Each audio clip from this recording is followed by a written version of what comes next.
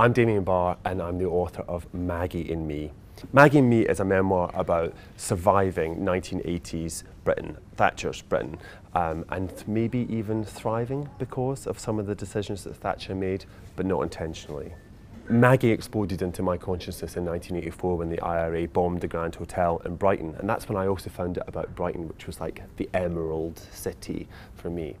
Um, and that same weekend, um, my parents got divorced. And until then, I had a reasonably tidy, small, working class life.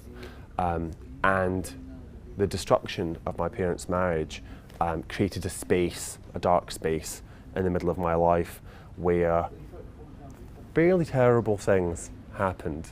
Um, but through all of that, through all of the terrible things, there were some constants in my life.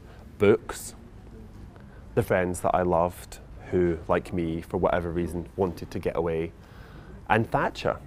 Writing the book took me to some very dark places in my childhood, and I think that as adults we, we gloss over that.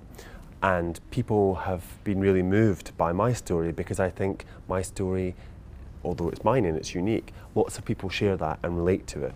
Um, lots of people have struggled with difficult, maybe abusive families or one or more family members. If I met Maggie now, I'd say thank you and f you. Don't know which order.